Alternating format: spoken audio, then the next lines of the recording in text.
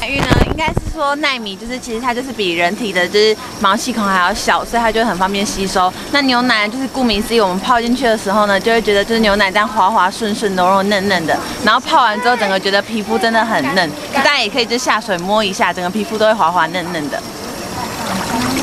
就是对，然后就是这个，呃，就是虽然说看起来没有就是像牛奶那么白，可是它其实就是有点像石灰，大家可以体验一下，就有点像你摸石灰的感觉，像水里面有石灰，然后就是在你的皮肤上面就这样滑滑的一层，嗯。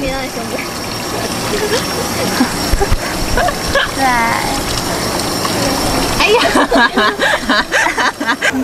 嗯，我觉得这个水的让让我感觉皮肤变得很好，而且这个味道非常的舒服，感觉皮肤变得非常好哦。